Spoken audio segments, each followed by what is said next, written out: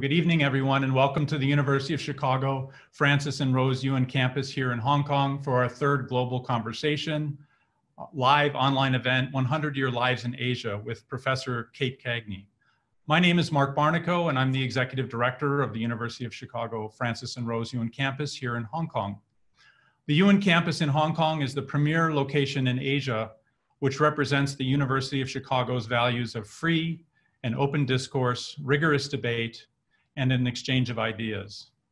The 100 Year Lives in Asia series is one of the new programs developed under the Yuen Lecture Series banner by the U Chicago Hong Kong team and Professor Kate Cagney. Tonight, we're again delighted to welcome Yuen scholar Professor Kate Cagney from the University of Chicago Sociology Department to host the third of seven episodes of our program, 100 Year Lives in Asia. Tonight's conversation topic uh, is social distancing and historical perspective. The 100 Year Lives in Asia program will discuss more than aging and the elderly. The program was created for us to rethink the arc of a single human life. Throughout human history, global populations have faced widespread disease, plagues, and pandemics. Tonight, we will focus on the history of uh, epidemics and social distancing. We'll also try to get at the underlying differences between Western and Asian societies, cultures, and family structures to see what we can learn from one another. Several episodes of this new series are focused on our new reality with COVID 19 and will continue to be broadcast every two weeks. Our fourth and next episode on June 11th is entitled Intergenerational Transfer of Wealth. Please plan to join us for the next online event. Now I'd like to get to the program and introduce the chair of 100 Year Lives in Asia, Kate Cagney. Professor Cagney is a professor in the Department of Sociology at the University of Chicago and the director of the Population Research Center, NORC, and the University of Chicago. Good morning, Kate. Good morning, Mark, and thank you. My pleasure. We'll, we'll get started now and I'll turn the remainder of the program over to you. Thanks so much. We do, of course, find ourselves on this webinar due to recommendations related to sheltering in place and social distancing. So how did we get here? How is it that just yesterday, the US has passed the mark of 100,000 deaths, even with such recommendations in place?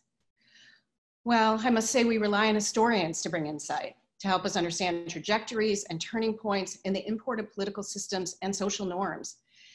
And that's who we have turned to today. Let me tell you about about the two leading scholars who will guide our thinking.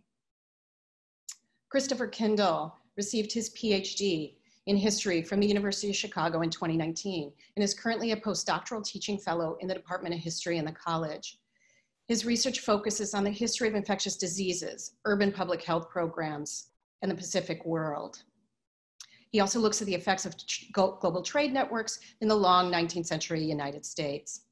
His current book manuscript, The Sanitary Sieve, Public Health, Mobility, and the Making of the Urban Pacific World, 1850 to 1920, examines how public health officials, Native Hawaiians, and East Asian immigrants transformed Honolulu from a placid mid-Pacific harbor into a vital disease screening checkpoint for the Hawaiian Islands, the Pacific Basin, and America's growing overseas empire.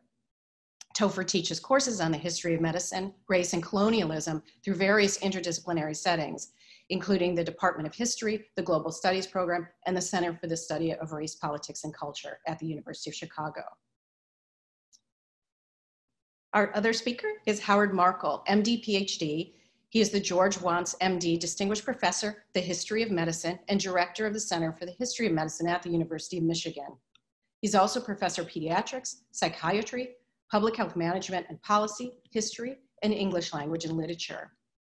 Trained at the University of Michigan and Johns Hopkins, Markel is one of the preeminent social and cultural historians of medicine, public health, and epidemics across the globe. Dr. Markel is the author, co-author, or co-editor of 11 books, including Quarantine, East European Jewish Immigrants and the New York City Epidemics of 1892, and When Germs Travel, six major epidemics that have invaded America since 1900 and the fears they have unleashed. From 2005 to 2006, Professor Markel served as a historical consultant on pandemic influenza preparedness planning for the US Department of Defense.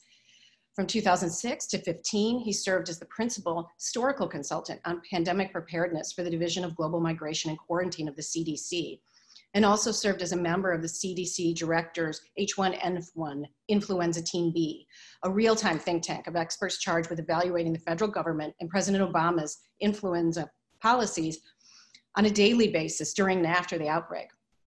His historical research has played a vital role in developing the evidence base for many community mitigation strategies employed by the WHO, the CDC, the Mexican Ministry of Health, numerous state, provincial, and municipal health departments around the globe.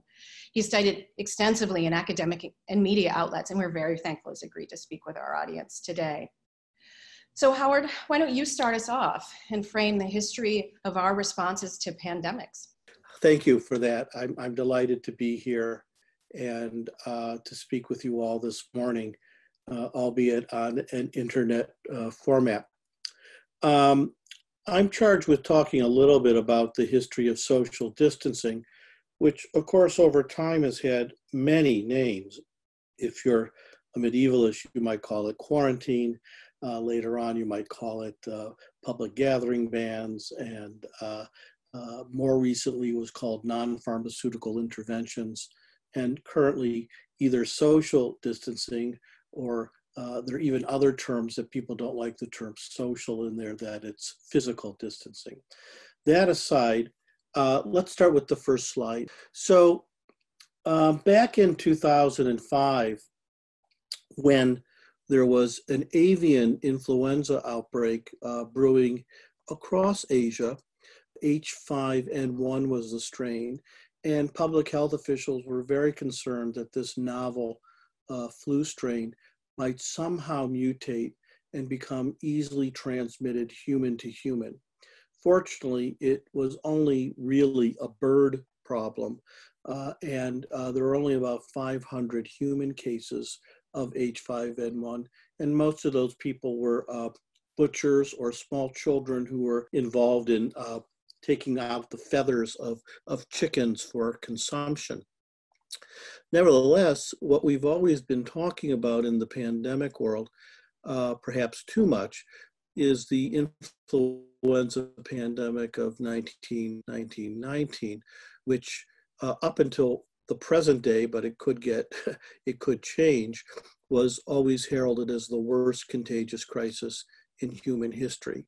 Uh, from about September 1st, uh, 1918 through April 5th, 1919, in the United States, there were about 10 million, perhaps as many as 15 million uh, cases, and anywhere from 500,000 to 750,000 deaths. Worldwide, there were hundreds of millions of cases and probably more than 50 million flu deaths worldwide. Uh, a lot of those flu deaths, by the way, were consolidated by the patients getting bacterial pneumonia in an era that was before antibiotics, and so they often succumbed to bacterial pneumonia.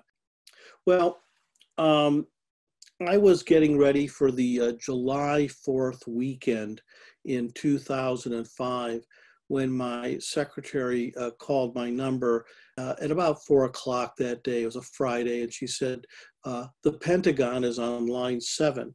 So I was a bit shocked because uh, the Pentagon is never on lines one through seven in my experience. And indeed, it was a, a colonel, a physician there, who represented the Defense Threat Reduction Agency, which was an interesting group that started out of the Cold War, and it was a medical unit that uh, originally was charged with looking at the threat of nuclear war and the post effects of radiation poisoning, but over the years had increased its portfolio to include infectious diseases, naturally occurring uh, disasters, uh, as well as um, uh, pandemics. And so this uh, colonel wanted me to look at uh, seven escape communities and a concept that we actually named, we called it protective sequestration. Because isolation means that you're actually isolating somebody who is uh, diagnosed, confirmed diagnosed with the infectious disease in question.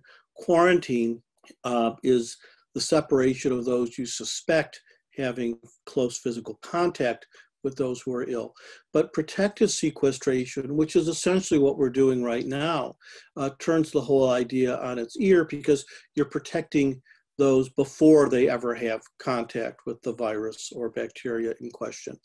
And there were seven areas, uh, Gunnison, Colorado, and that's where that little postcard on the left is. It was a mining town uh, for the Western Mining Company, nestled within the Rocky Mountains, Yerba Buena Island in San Francisco, Princeton University, Bryn Mawr College, the Trudeau TB Sanitarium in Saranac Lake, and the Western School for the Blind in Pittsburgh. This is when we essentially quarantined people who we thought were diseased or medicalized as such back then, and Fletcher, Vermont. And what we found in these communities is that as long as they kept their doors closed, stopped their railway systems or roads, stopped schools, public gatherings, etc., there were no cases and no deaths. And as soon as they opened up their, their gates, so to speak, uh, they started to have cases. And that was very interesting to us, although it's not the most practical thing to completely shut yourself off from the outside world. Well, that's when we began to work with the Centers for Disease Control, specifically uh, with the Division of uh, Global Migration and Quarantine. Uh, the director of that then as now is Dr. Martin Cetron, and we've been colleagues for many years. And we were very interested in looking not at escape communities that completely shut down, but regular American cities, because they all did something. Uh, but how they did it, what order they did it, uh, uh, that mattered and we want or maybe it didn't and we wanted to see we wanted to ask those questions with this particular uh, hypothesis in mind. And so this cartoon will, may look familiar to you but it was the original slide of of what we now call flattening the curve. You'll see that's a classic epi curve and we're wondering if we could delay the first case. And then let's put press on it again as well as flatten, to decompress the peak burden of uh, people coming to hospitals at the same time, because that's a really important issue. If everybody is flooding to ERs and hospitals, they'll quickly be inundated, and they have regular, you know, heart attacks, diabetes, whatever, whatever to handle as well. So you don't want everybody coming at the same time, and hopefully, if you can buy enough time you would diminish the overall cases and health impacts of that pandemic. Well, the actual term flattening the curve arose uh, well, I was when I was working on this with the CDC with Marty Cetron. We were I was in Atlanta almost every other week because it was easier to work with his all of his epidemiologists and statisticians were there. So we would particularly uh, work late in the evening, and we were eating some particularly bad takeout food and I ordered some type of noodle dish. And by the time it came, it all congealed into one giant flat noodle. And so I said, look, it's just like our curve, it's flattened. And so that's at least my version of the story of how that expression came about. But this was the hypothesis of what we wanted to study. Well, the paper that resulted uh, with about 12 historians, I called it the Manhattan Project, of history of medicine and many epidemiologists and statisticians was this paper in the Journal of the American Medical Association in August of 2007. And we took 43 cities that we found that were uh, well documented in one source, the US Census and Mortality uh, report that looked at each week's cases and deaths from influenza. Uh, the populations range from about 100,000 to 5.6 billion. It was about 23 million people, or a quarter, almost a quarter of the US population.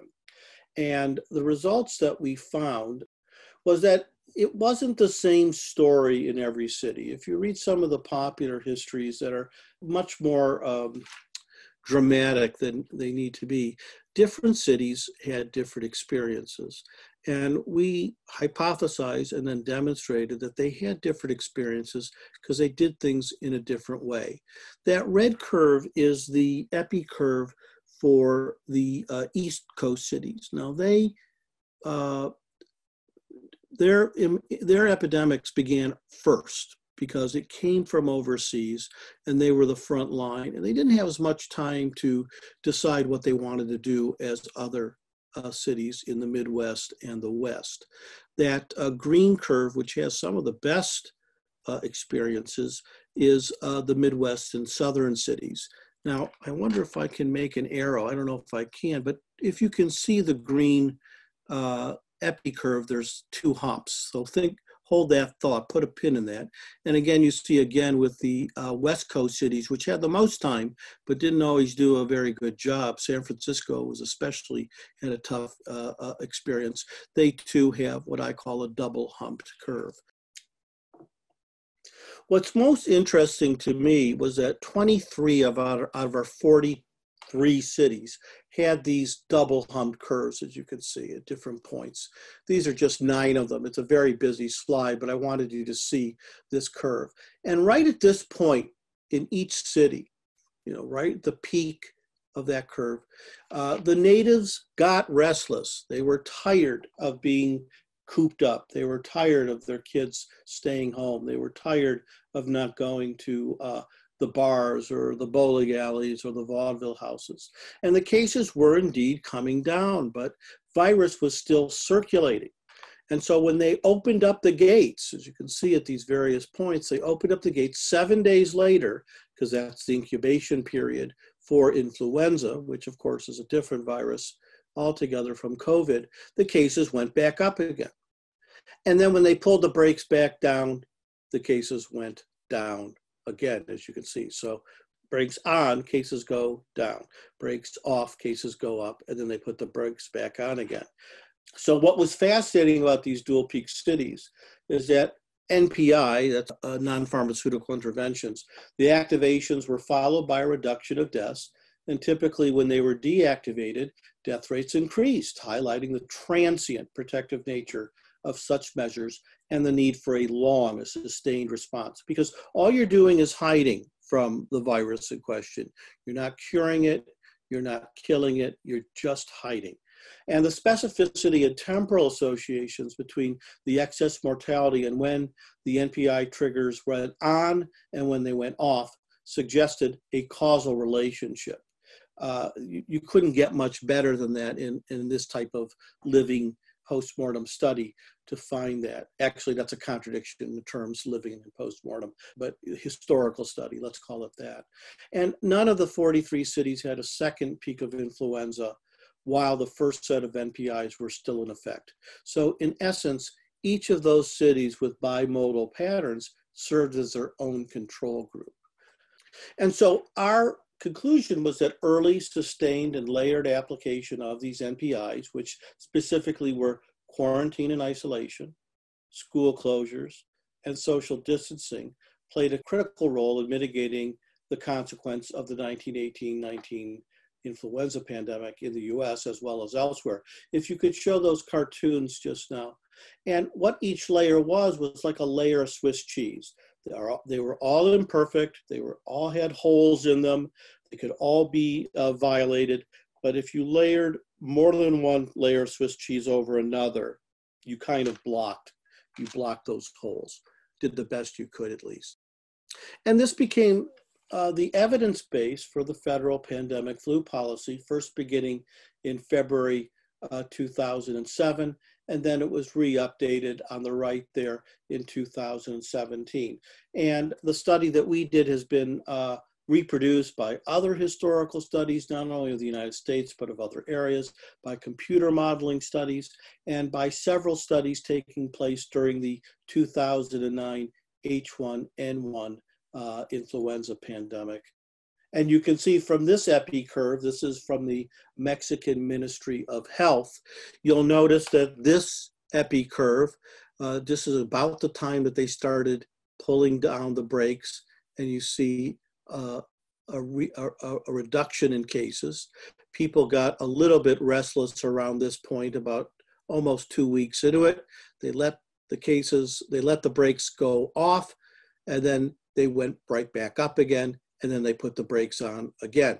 Now, what's interesting is that at 18 days, that was the length of their uh, response in Mexico, which was, by the way, extremely transparent and helpful with other countries, notably the United States and Canada, in telling them what was going on and sharing virus samples and so on. But they were incredibly helpful. Uh, but at 18 days, we learned that the uh, H1N1 uh, flu was not much more lethal than seasonal flu. And because of that, we would only apply these measures, these social distancing measures, in a worst case scenario where the case fatality rate was as bad or greater than influenza in 1918. Back then, it was about 2.5%, but in many places as high as 10%. And you may recall uh, the WHO reporting uh, in March that the case fatality rate for COVID 19, particularly among specific groups such as the elderly, uh, people with certain health conditions, diabetes, hypertension, cardiovascular problems, and even obesity, was, was about 3.8%.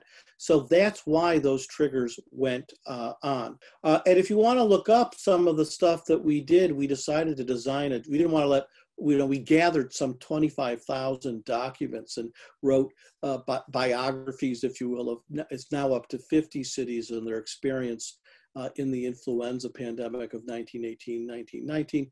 And you can find all that on influenzaarchive.org. And so I think I will close there. There might be one more slide.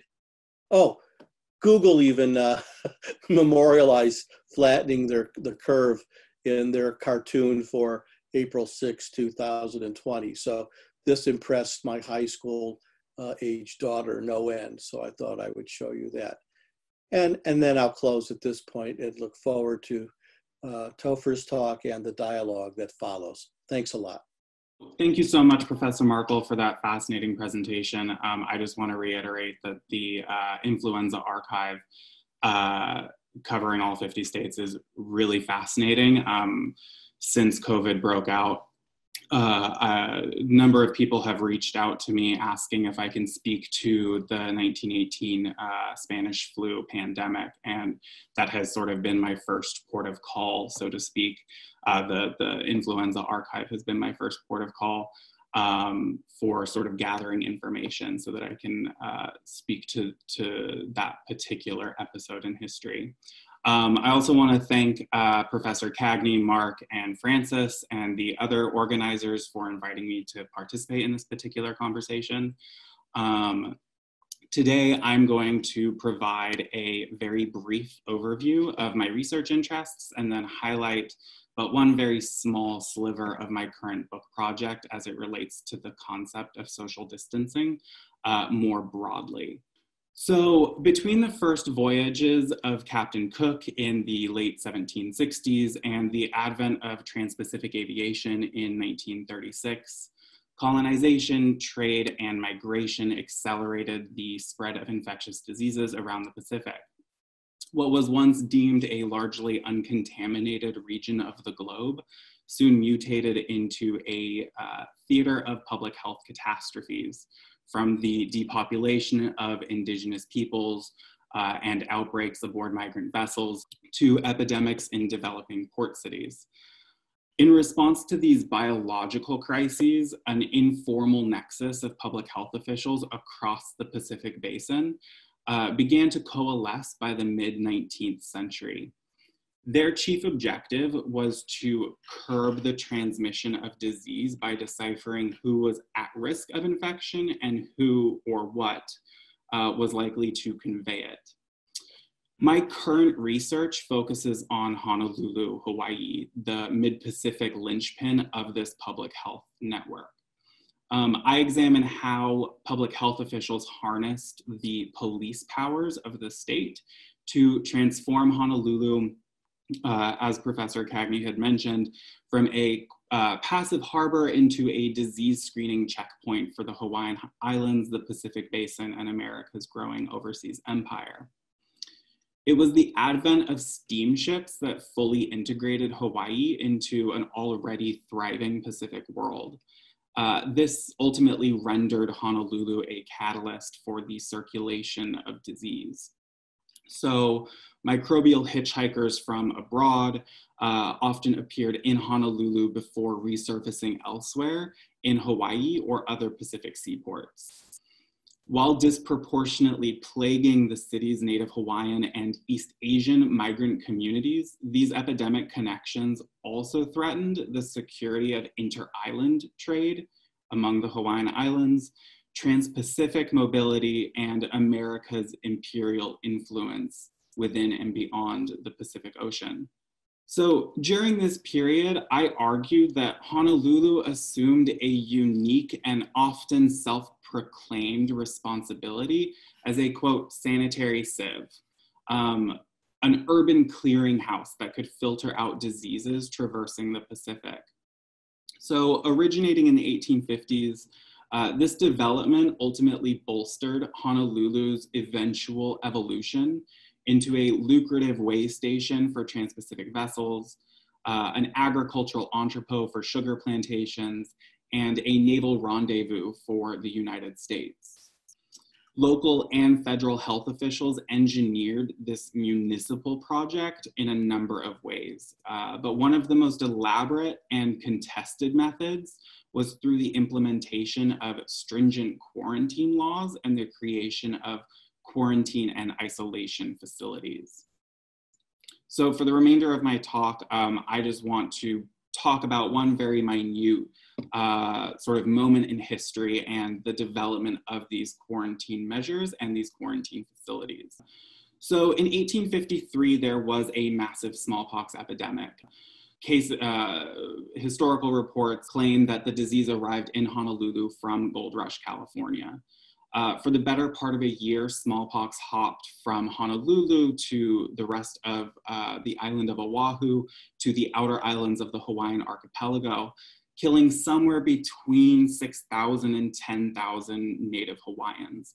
Uh, the numbers are uh, questionable uh, at best.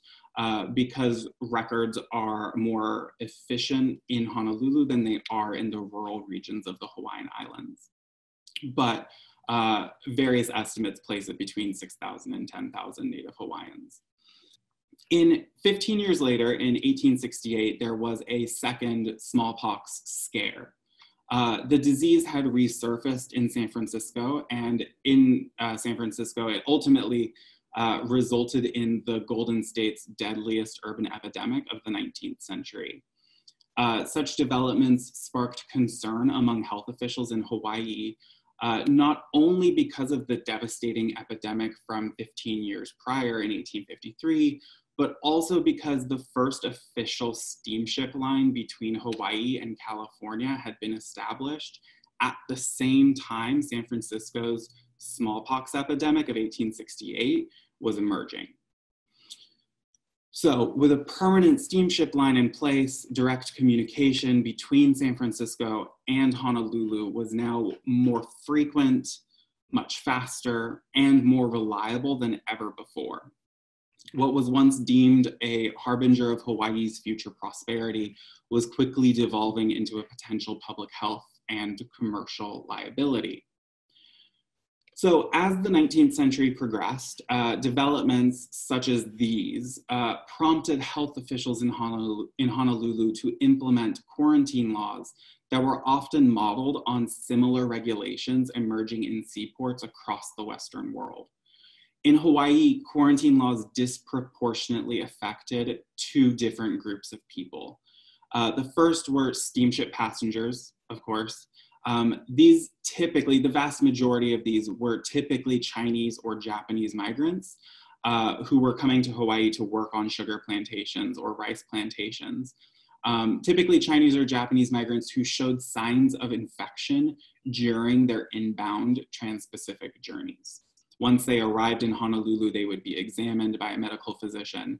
And if any cases on board of the vessel had appeared during the trip, uh, that individual or individuals plus the rest of the passengers and the crew would be placed into a 14 day quarantine.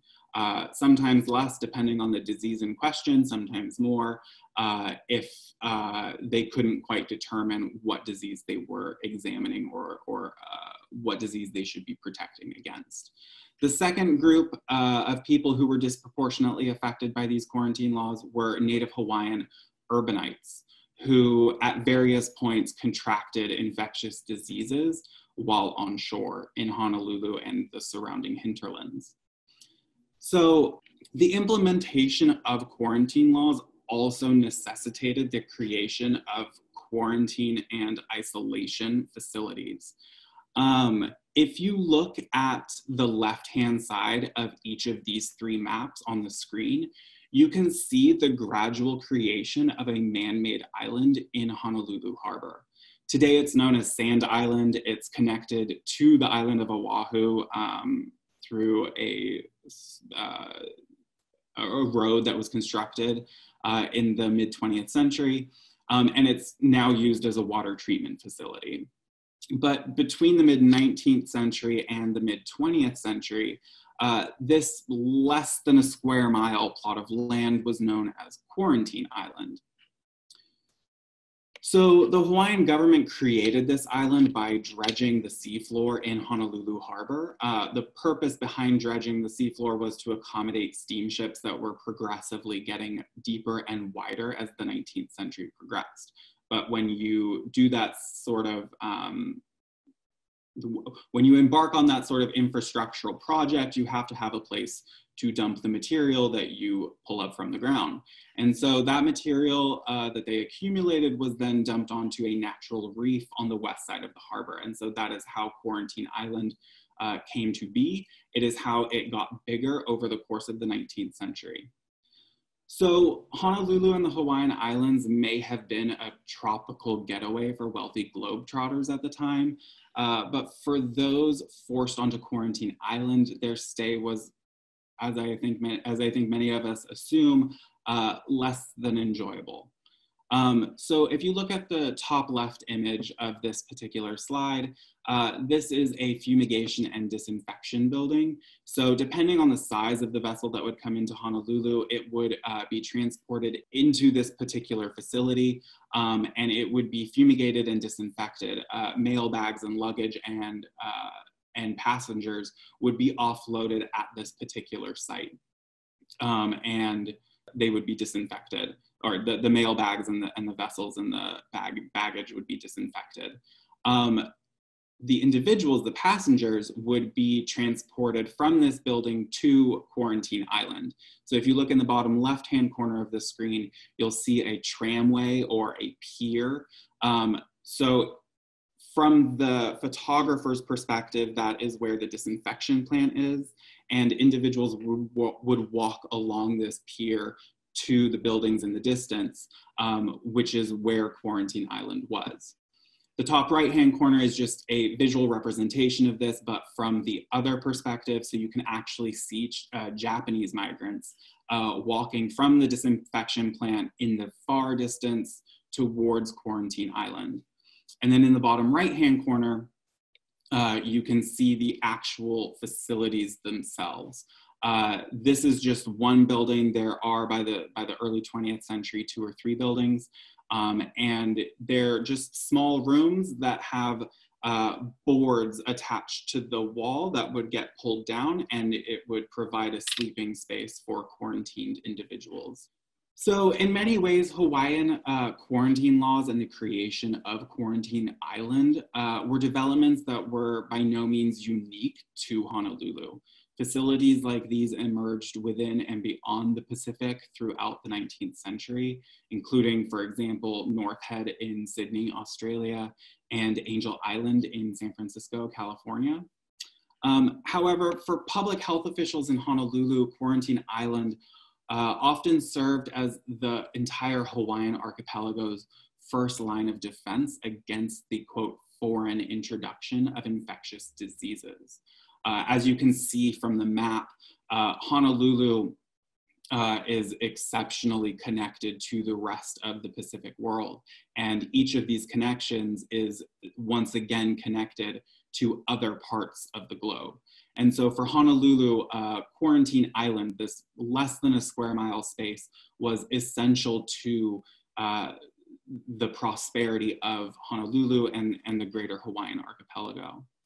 Um, so in the interest of time, I'm going to end there, uh, but I'm happy to elaborate on any part of this presentation or any part of the larger book project as the webinar progresses. Thank you.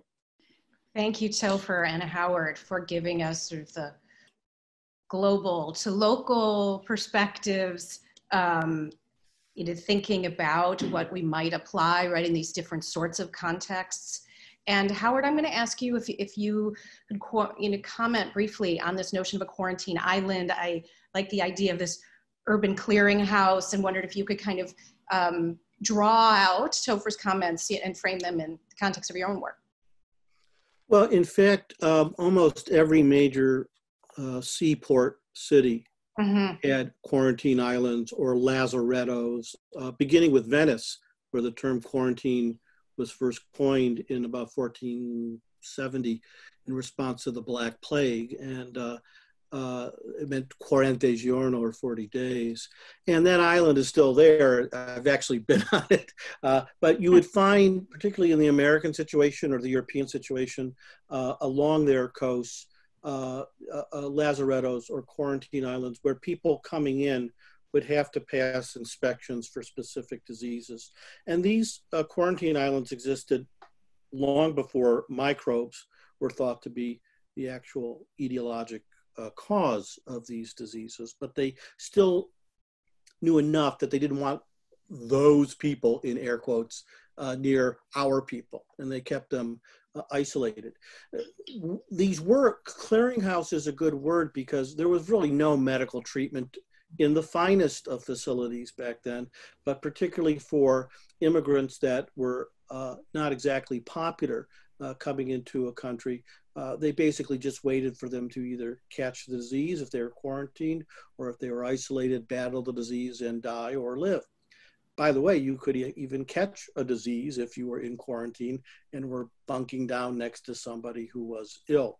So, um, in my own work, um, uh, when I studied New York City's uh, quarantine facilities, uh, which were state run, and they were not the Ellis Island uh, facility, which was nationally run.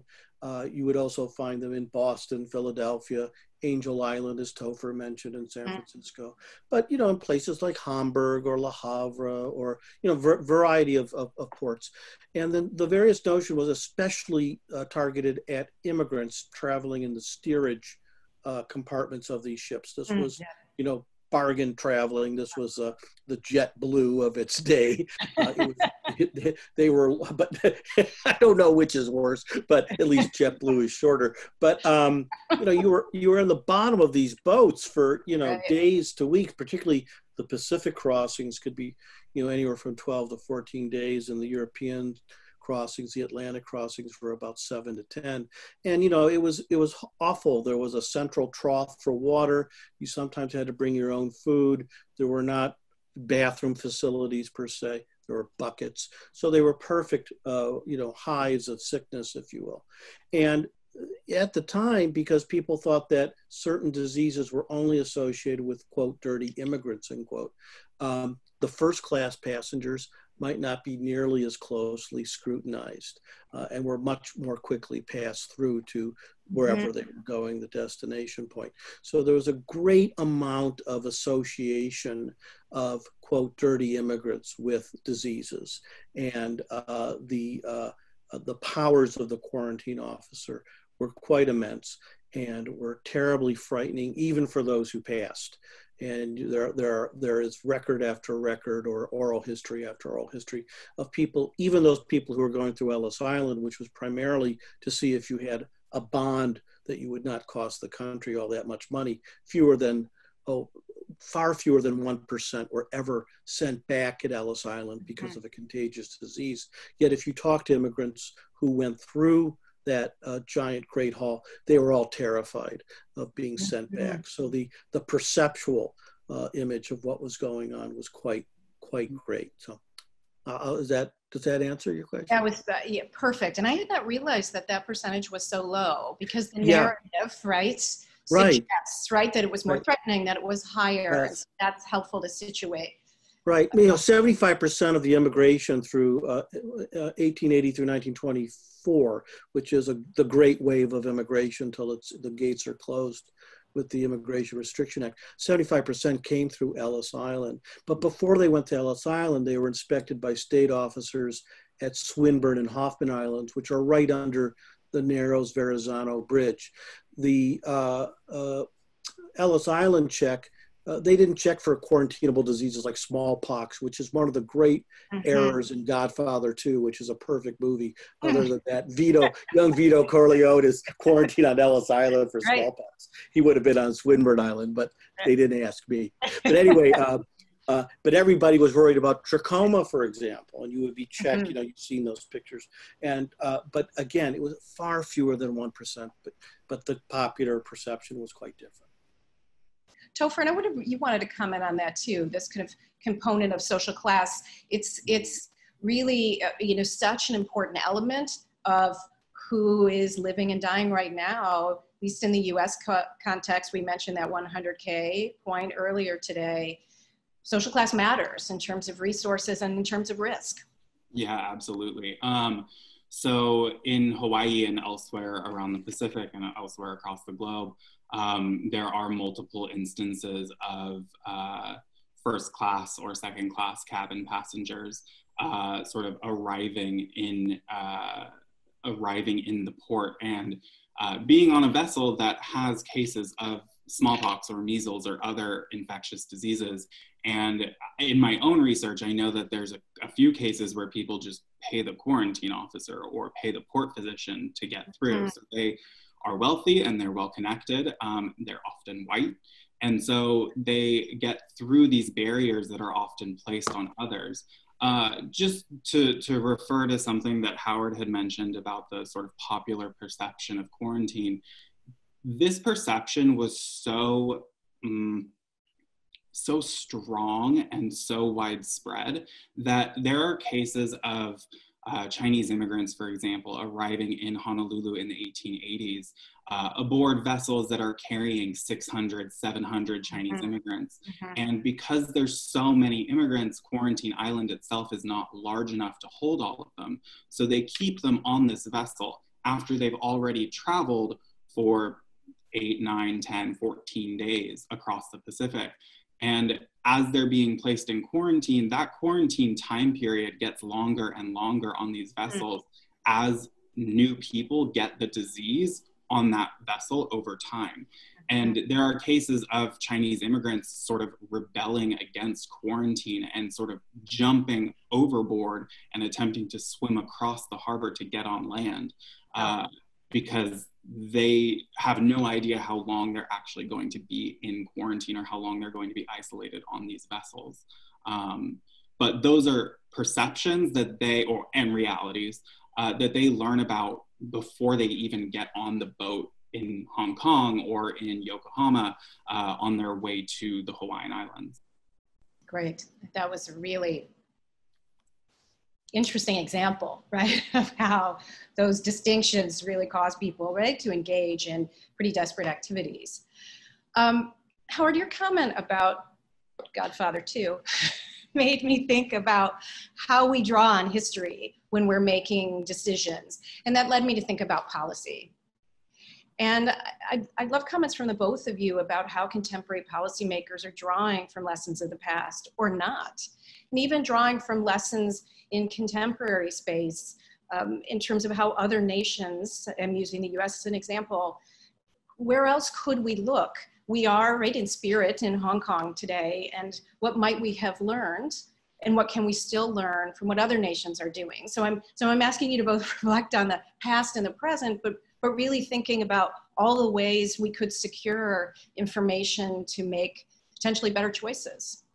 Well, having been um, the lone historian in the room where policy was being made, yes. I was always felt like an umpire more than a participant.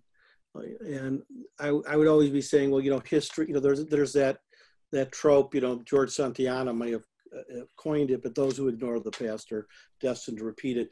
It's a very popular trope, and, and historians are always saying, well, you know, it doesn't exactly repeat itself. Uh, mm-hmm. History travels in, you know, cycles, not circles or whatever, you know, and, uh, but, but there's a great um, belief, particularly in places like Washington, uh, that if the historian is there, uh, he or she is an oracle. Uh, because A mm-hmm. happened in 1900, B will happen in 2020. So you have to be very careful about that and talking about context, which is the, exact opposite of what the far more influential scholars, the modelers, the mathematical modelers in the room are embraced and and and feted because everybody loves numbers. You love numbers far more than you love history stories, and whether they're right or wrong is inconsequential, really.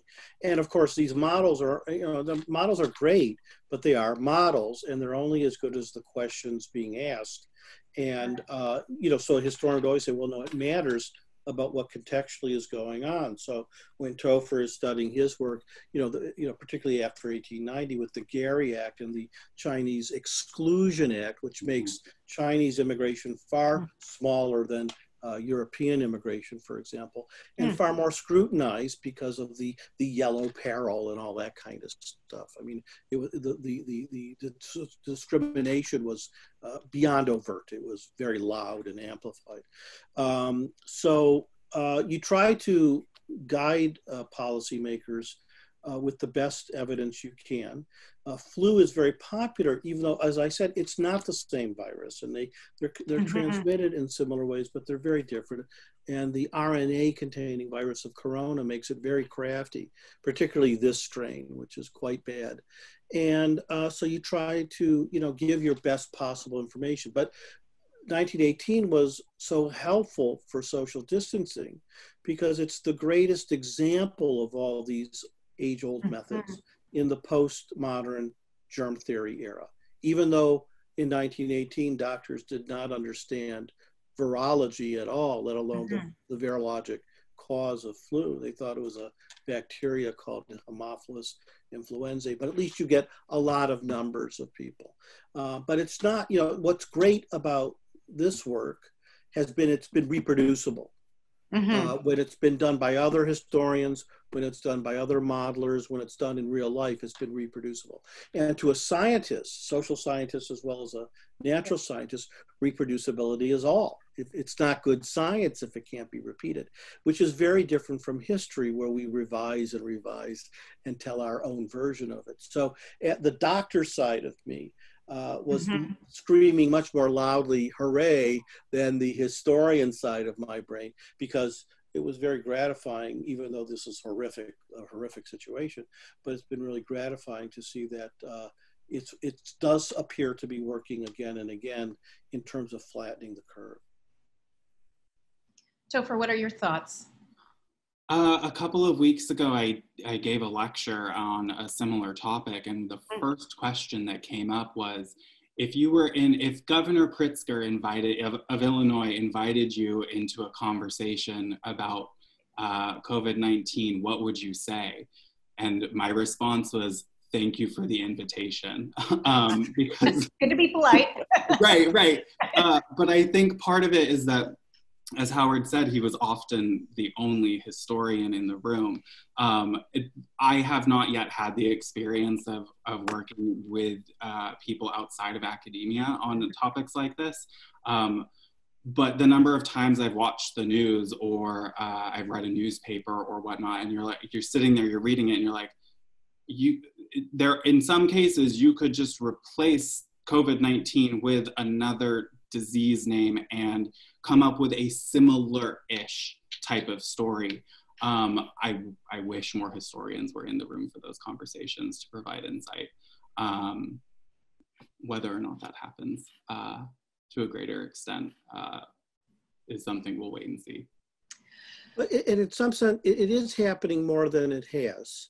Oh for sure. And so you know the, the national academy of medicine for example which is a pretty august institution they when they had social distancing uh, discussions you know similar to this uh, historians were invited. Um, and uh, at various times during the whole flu wars from 2005 to about 2010 there were a few historians. Not necessarily the right ones by the way either. Sometimes there are popular best-selling historians who you know i might argue don't have the rigor uh, that uh, you know others might have and it's particularly difficult with late 19th early 20th century history of medicine i mean i'm using history of health public Mhm, health mhm.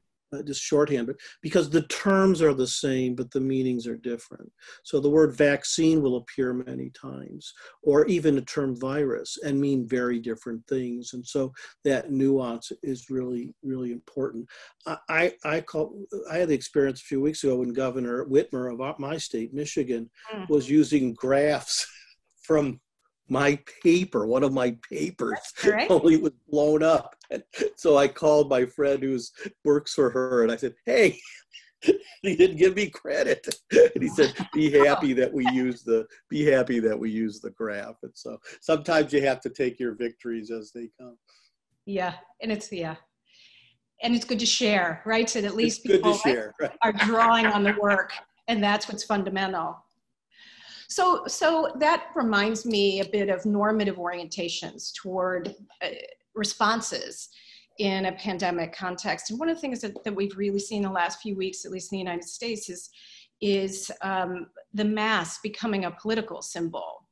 And it, it seems like the take up of, of mask wearing in other parts of the world, particularly in Asia, much more normative the expectation is that one would protect oneself. And I'm, so I'm wondering from a historical perspective, why we saw and why we are seeing the mask elevated in that way.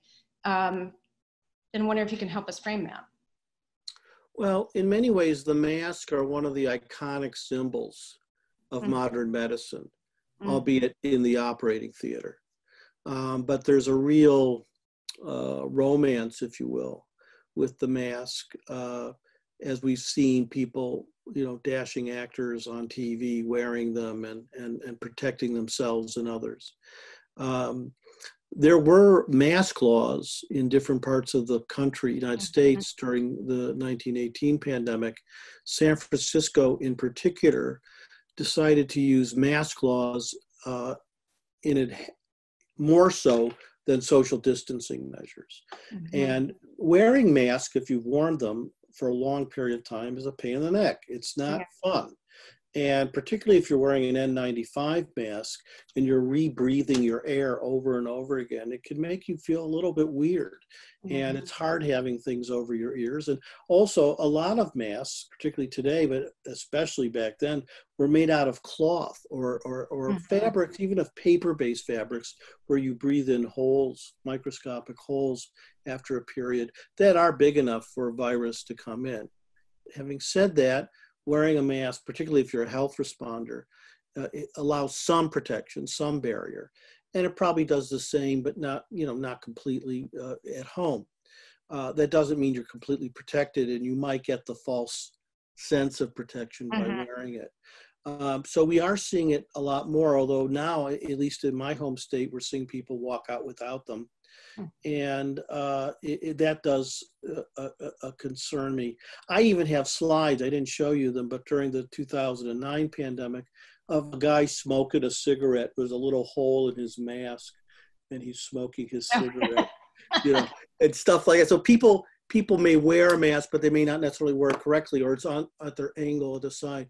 I have or a great photograph. Yeah, I have a photograph of the mayor of of uh, San Francisco, only it's a Xerox of a Xerox with his mask dangling from his neck in 1918. So uh, proper wearing of the mask is, is every bit as important as wearing the mask. And wearing a, a proper mask is also important too.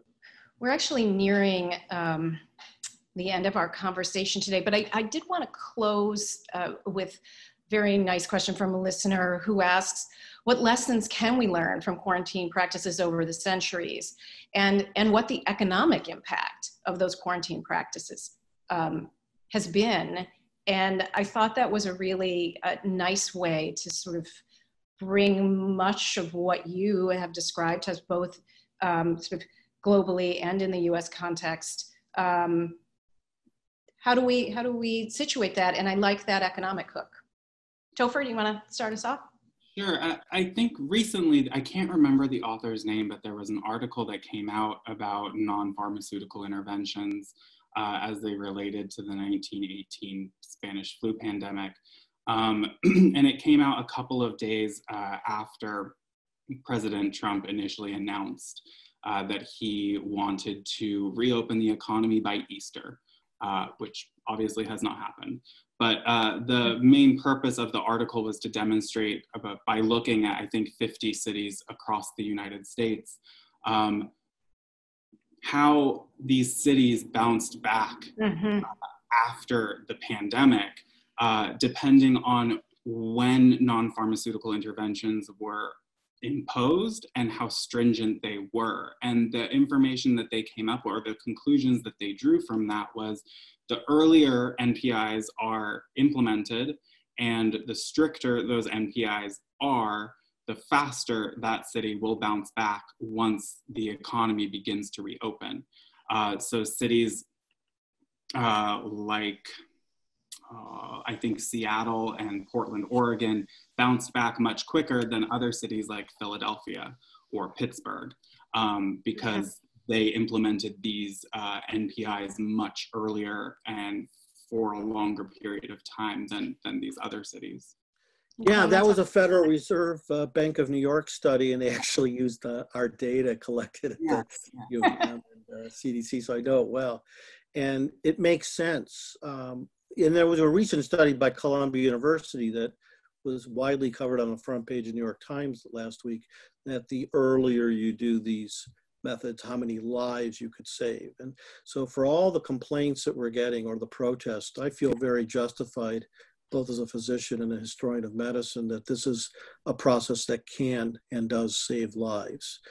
Um, and it does make sense that the economy would bounce back quicker, particularly then in 1918 when it was a very gender-based economy and it was males who were the quote breadwinners and women were, were you know homemakers and such so that if the men died uh, uh, widowed um, uh, mothers who had you know families were really up the creek in terms of how would they pay their rent or what have you um, it also makes sense that the fewer deaths you have and the fewer disruptions you have once the uh, epidemic is over, that you can recoup your losses. Um, you know, we've been having epidemics and pandemics since at least the time of Adam and Eve. They've been with us forever. Mm-hmm. And with each iteration, humankind has moved on and progressed or at least uh, at least uh, went on with their lives sometimes too blithely and leaving very mm-hmm. frequently the the same conditions that uh, cause those problems in the first place i call that the the end of an epidemic is a global amnesia. And so i would like to take the opposite view not what history can teach us but what this pandemic can teach us. If it does not teach us to be on guard all the time, to have international uh, uh, working relationships of surveillance, reporting viral samples, uh, no right. concealment whatsoever or delay in reporting what's going on and when, and working together from you know the leaders all the way down to regular citizens. If this does not teach us the import of that, I don't know what will. Well, those are certainly words to live by. and uh, truly.